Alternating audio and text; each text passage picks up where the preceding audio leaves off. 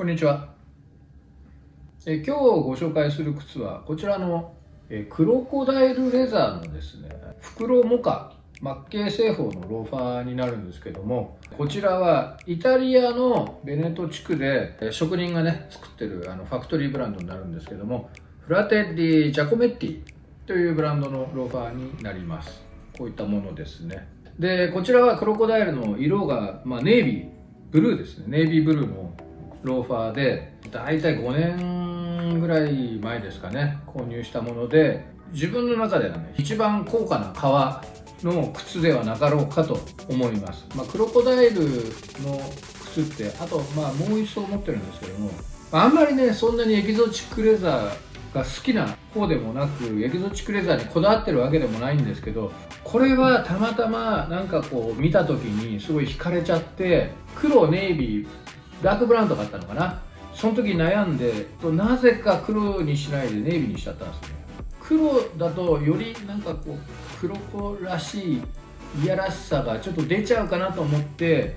えネイビーをチョイスしたんですけれども今だったら黒でもよかったのかななんて若干後悔もありつつまあでもねあのなかなかこうネイビーの黒子のローファーってそんなにねあの見かけることもないしそんなに人とバッティングすることもないので結構履いてます。クロコダイルだからってすごい気使ってなんかこう履いてるかっていうと全くそんなこともなく自分自身はもうほとんどメンテナンスをせずにたまに磨きに出したりする程度ですね。その時もまああのこの間もメンテナンス出して、え磨きとハーフラバーとヴィンテージスチール。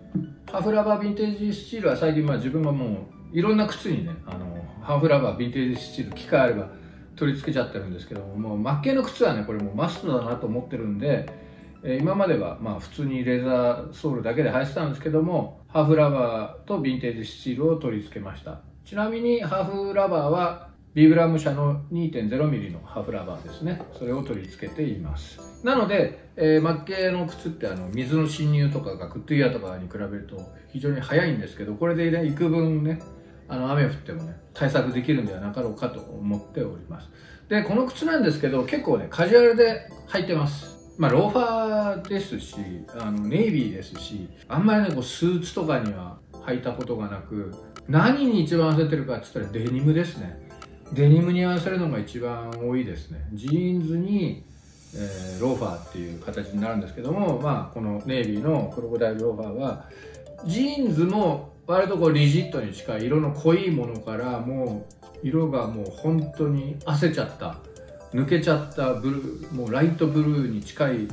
ものから、えー、ホワイトデニムとかまであの幅広くねいろんなジーンズに合わせることが多いです。あとたまにそれこそカーゴパンツとかあとはチノパンツですね。カーキ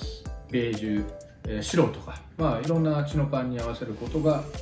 多いです。クロコダイルのレザーシューズなんですけど使い方は至ってカジュアルにね使ってます。そんなに気にすることなくメンテナンスもたまに出す程度で。でこの間メンテナンス出した時に磨きも一緒にしてもらったんですけどクロコダイルなんでねどういう磨きをするんですかって聞いたらあの、まあ、エキゾチック専門の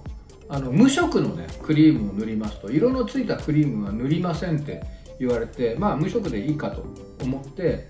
でこの間メンテナンスも出して無色のクリームをまああの栄養クリームですね。要は塗ってもらったぐらいですね。であとは本当に普段はほとんど自分では何の手入れもしません。たまにブラッシングするぐらいですかね。っていうぐらいなものです。そんなに気使った使い方してません。あとなんか人から聞いた話なんですけどクロコダイルって意外と水に強いよって聞いてなぜかっていうとそもそもワニって水の中で生息してるので水に強くて当たり前みたいなその話聞いた時にああなるほど確かに理にかなってるなと思って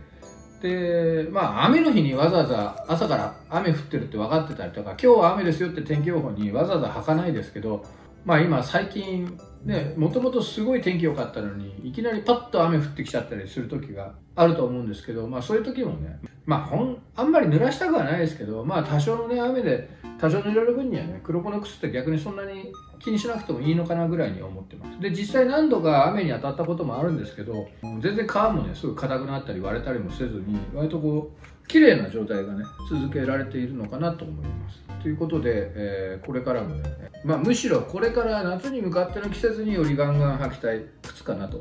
思います。であのジャコメッティって非常にこうものすごい作りが丁寧で本当に手作り、まあ、いわゆる機械式グッドイヤーっていうよりかハンドウェルト製法のグッドイヤーが得意な会社でもありますし、まあ、こちらはねマッケイ製法のものになるんですけども手作りであのやってるあのメーカーなんですけどそれにしてはお値段が他ブランドに比べるとお安いかと思います、まあ、通常だったら、まあ、この作りでこの革使って例えばフランスの Du Puy のカーフ使ってハンドウェルト製法で、えー、なんじゃらかんじゃらやってたりすると大体20万とかも余裕で超えてくると思うんですけどまあそれがね大体10万円前後とかでリリースされてるのでそういったコストパフォーマンス力もね非常に高いブランドではなかろうかと、まあ、知名度がねそんなに高くないのでその価格帯でできてるのかどうなのかも分かんないですけどあのコストパフォーマンス力が非常に高いブランドだと思います。あとこう私のはクロコですけどいろんなねエキゾチックレザーを使った靴リリースしてるのでカバとかワニはもちろんのことヘビとかゾウとかなんかね本当にこう珍しい革を使った靴も作ってるブランドになります。あとねデザインもなんか独特なんですよね。割とこうイタリアイタリアした靴メーカーってどちらかっつったらこうシュッとロングノーズのポインテッドトゥーみたいなロングノーズの靴が非常に多いかと思うんですけどもちろんそういう靴もあのコレクションの中には入ってると思うんですけどイタリアの靴っぽく例えばこのローファーもなんかこうイタリアっぽくないんですよね。どちらかって言ったらアメリカン？ちょっとビーフロールもついてたりしてどちらかって言ったらアメリカンに近い形のローファーなんで普通イタリアのブランドのローファーだとローファーですらこうロングノーズでシューッとしてつま先がちょっとねこうスクエアになってたりとかっていうものが多いんですけど全体的に丸っこくてビーフロールなんかつけちゃってイタリアっぽくないフォルムのローファーなのであのそういったところもねここのブランドの面白いところだと思います靴好きな方ならねもうあの結構認知されてると思うんですけど言ってもまだどうだろう。日本市場に入ってもまだ10年か15年かそれぐらいのブランドだと思うのでまだまだ認知度もそれほど高くはないと思うんですがあの気になる方もね是非ね調べてみてください。あのこういったねエキゾチックレザー以外にもいわゆる一般的なカーフとかそういうのもいっぱいラインナップで市場には出てますのであの靴好きであのジャコメッティをお持ちでない方はね是非一度ねこう調べてみていただいてあの一回ね